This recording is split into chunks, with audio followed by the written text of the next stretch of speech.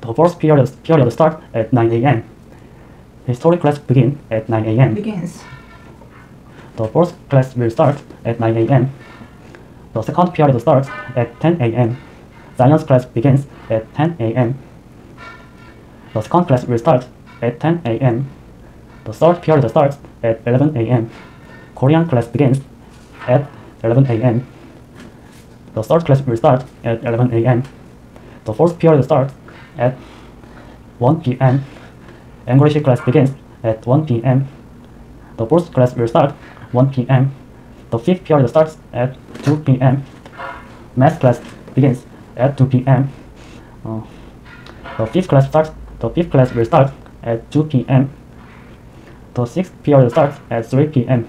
PE class begins at 3 p.m. The sixth class will start at 3 p.m. The seventh period starts at 4 p.m. Music class begins at 4 p.m. The seventh class will start at 4 p.m.